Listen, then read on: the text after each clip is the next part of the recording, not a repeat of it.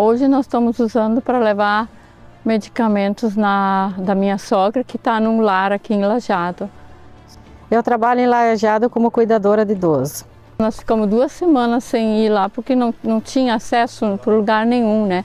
Então a ponte faz muita falta, né? É complicado, pra, não é só para mim, para todos nós que dependemos de caro, né? Indo para Lajado para trabalhar. Gratidão a gente tem por Forças Armadas ter colocado essa passadeira para a gente poder se deslocar, né? Vem até aqui, a gente, alguém busca a gente, né? Um parente que mora desse lado, né? Realmente muito agradecidos.